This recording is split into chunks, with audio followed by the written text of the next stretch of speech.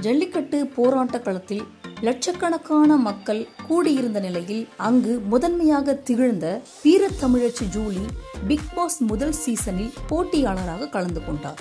தற்போது தோளில் மெழுகுவர்த்தி வைத்திருப்பது போலவும் மெழுகை தோல் பட்டைகளில் உருகி வடியவிட்டார் போலவும் இருந்த அந்த புகைப்படங்களை கண்டு ஜூலியக்கா என அன்போடு பிக் பாஸ் செட்டில் அழைத்து வந்த நடன இயக்குனரும் நாயகியுமான காயத்ரி ரகுராம் அறிவுரை வழங்கியுள்ளார். மடத்தனமான செயல்களால் அழகுபடுத்த விரும்பாதே.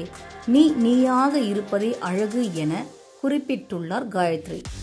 இந்த வீடியோ உங்களுக்கு பிடிச்சிருந்தா லைக் பண்ணுங்கள் ஷேர் பண்ணுங்கள் கமெண்ட் பண்ணுங்கள் மறக்காமல் நம்ம சேனலை சப்ஸ்கிரைப் பண்ணுங்கள்